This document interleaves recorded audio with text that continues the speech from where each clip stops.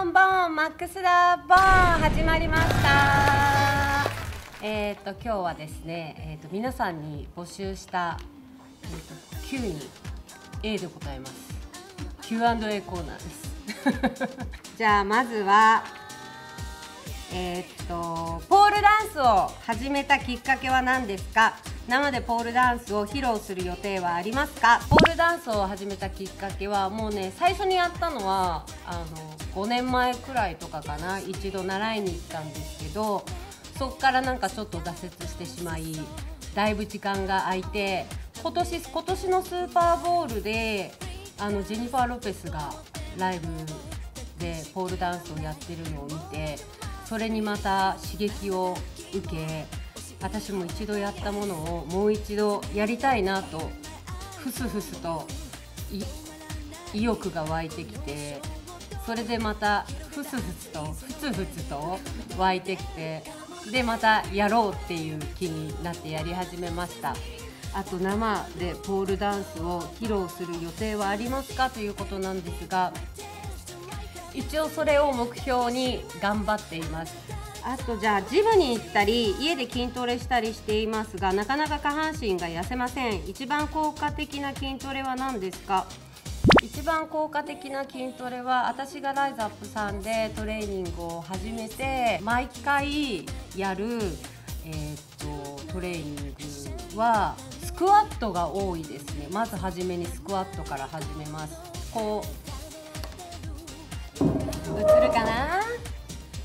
こうスクワットした時にこの太前の太もも部分でこう上げて下げてやろうとするとこの太ももの前部分だけがこう鍛えられて逆にこう足が太くなっちゃう。だけど女性ってやっぱりこうスラーっとした、ね、ミニスカートとか履いててもスラーっとした、ね、足に多分憧れを持ってると思うんですがここの太ももの裏とこのヒップを鍛えることによってこう足がこう引き締まる。こう感じ方が太もも裏とお尻がに感じるようにこうスクワットするといいと思います。あとこの内側のプルプル太ももの内側のお肉を細くしたい時は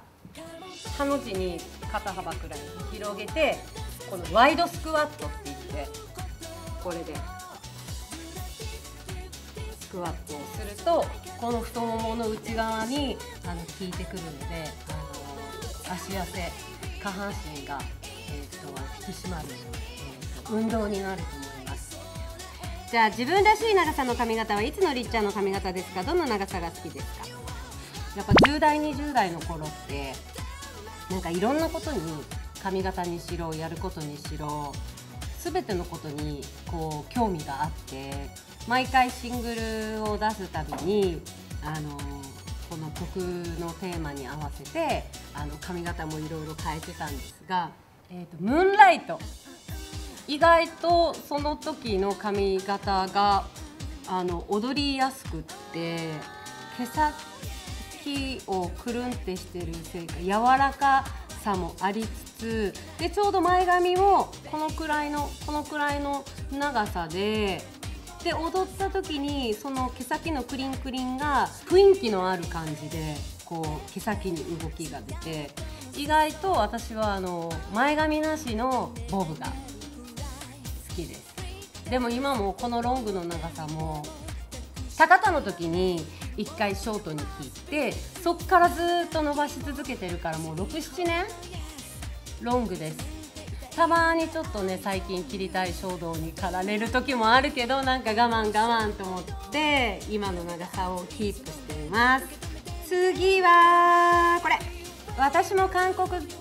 カカンドラ週5本くらい見ます。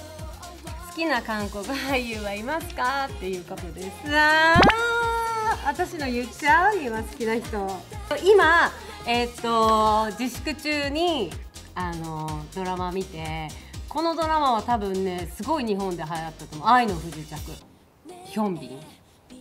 と最近見た「ボーイフレンド」っていう韓国ドラマがあってそれにの主役の、えー、とパクパク・ボゴム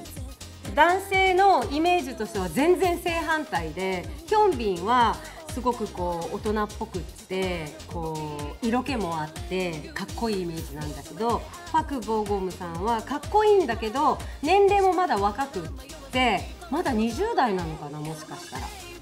あのすごく可愛らしいっていう感じの男性なんだけどなんかそこはそこでなんか犬みたいで可愛いっていうかこうちょっと母性本能をくすぐられるっていうかそっちも見ててなんかキュンキュンしちゃう感じ。だからどっちのドラマも本当おすすめです、はい、ぜひメンバーも見てください。じゃあ最後このね質問も多かったの他のメンバーが結婚しましたが私も早く結婚したいと思ったことありますか？とかマックスイーツの独身のリナさん結婚しないんですか？とか。早くね。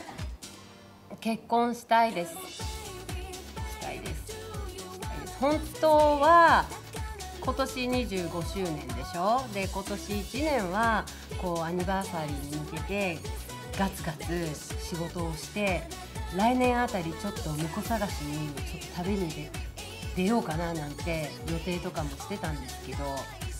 留学も含めちょっとコロナのせいで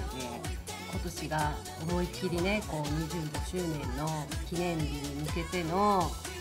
仕事が思うように進められてないので、まあ、この1年繰り越し来年だからその代わり、えー、っとマックスのお仕事は、充実させていきたいなっていうふうに思ったんですがだから1年ずつこう変わるってことは私の婿探しも1年延びました。だから来年は多分25周年のパーティーをいろいろ盛り上がって再来年ですね、えー、またしっかりと真剣に本当に真剣に探していきたいなって思います。はい以上。あこれも言いたかったけどまあ次回に皆さんの答質問にまたこのコーナーを設けて、えーと、答えていきたいと思います、えー、皆さん楽しんでもらえましたか、えーと、今日はありがとうございました。チャンネル登録グッドボタンコメントお願いします。